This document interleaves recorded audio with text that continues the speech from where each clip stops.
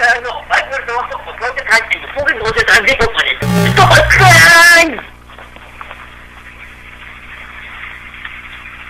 Zeker!